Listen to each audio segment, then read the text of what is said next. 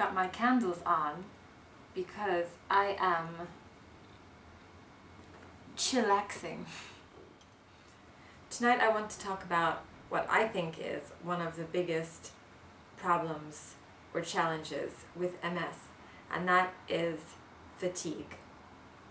If you have MS, you probably know exactly what I'm talking about. Uh, if you don't have MS, the best way to describe the kind of fatigue that you get with MS is imagine uh, you're in university and it's finals week and you have just stayed up for two nights in a row to study for a huge exam. And you take the exam and afterwards you're just ready to crash. Your eyes feel glazed. You just start to feel really you know this insane feeling this feeling of I can just fall down on the pavement and go to sleep happily that's the kind of feeling that you get with MS um, and sometimes it's for no apparent reason. So you can have a great sleep, wake up, it's a beautiful day, it's not too hot, and you are just exhausted. And you just cannot stop being exhausted. And, um, you know, when it goes on for days or for weeks, it's really upsetting, obviously. Uh, and it's very hard to get on with your life. There's several ways to deal with fatigue. Um, and I'd like to share with you some that I find helpful.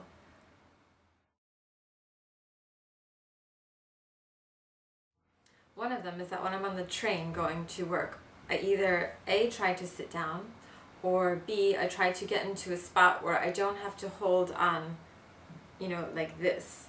So if you can get to a spot where you can hold on to a bar or something on the side, um, that is preferable because any stretch that you do for a prolonged period that's either lifting your arms up or bringing your arms down is fatiguing your muscles. Um, yeah, it's good to exercise and, and do things in small spurts, but for prolonged time to stand, you know, strap hanging as they say, um, is not good. So by the time you get to work, you can really be exhausted, um, which I have been.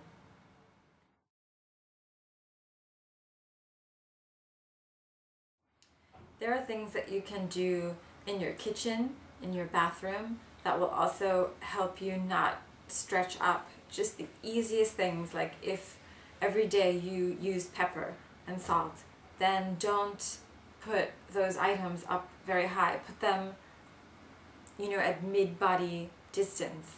Um, things like baking powder, maybe you don't use as much, so put that up high. If you have pans that you use every day, leave them on the stove. Don't put them up high or under in a cabinet that you have to constantly exhaust yourself getting them.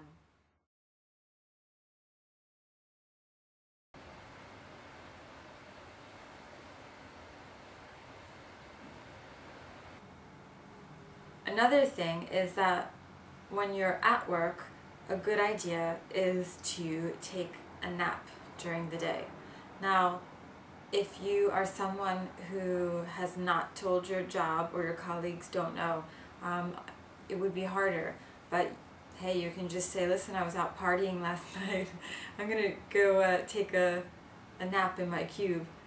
I don't know, at my job, everyone knows that I have MS, and sometimes I just say, listen, I'm taking a nap for a half hour or 20 minutes. Set your mobile, put it on your desk, and a nap it makes the biggest difference. The days that I take a nap, it's night and day. If you're home and you're, say, cleaning the house, you have to think strategically. Uh, I'll vacuum, then I'll sit down for a few minutes. Maybe I'll close my eyes for 10 minutes, just to kind of shut down everything and rejuvenate. Then I'll get back out, and then I'll start, you know, cleaning windows, whatever it is. Um, you need to kind of do things at a pace.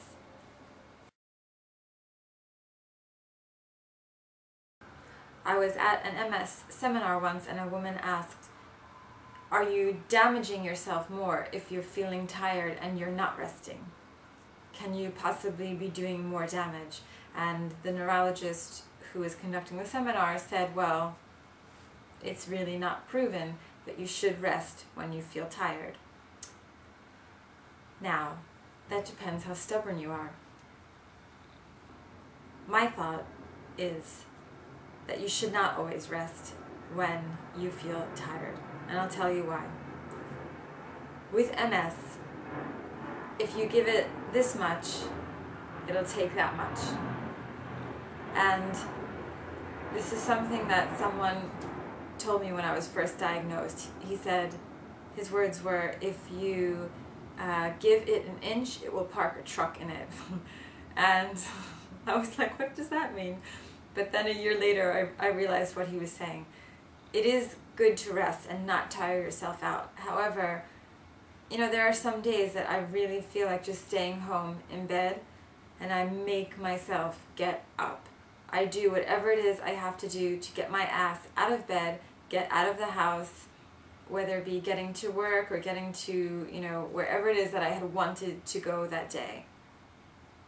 You can't let this disease tell you that you're not going to do something. So my unsolicited advice is this. If you are not in a relapse and you're just experiencing day-to-day -day fatigue with MS, I would say don't always rest. Don't sleep late. Don't give in to it.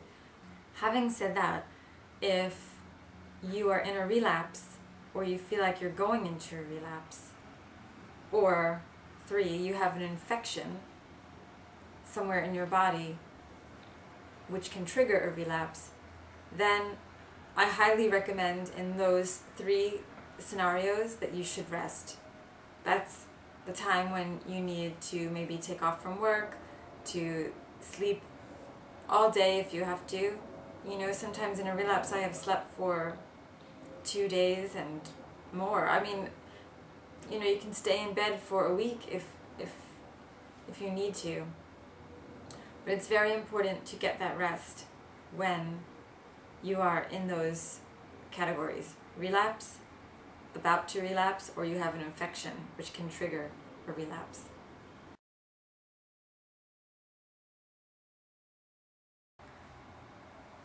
So if you have MS and you're tired all the time, um, I am too, so I feel for you. Um, know that we're together in this in some weird way and so people who don't have it, you know, they don't understand why are you so tired again. Um, maybe they can't understand, but I do, and there's millions of people who also understand. So, you know, that's at least in some way comforting. Thanks for watching.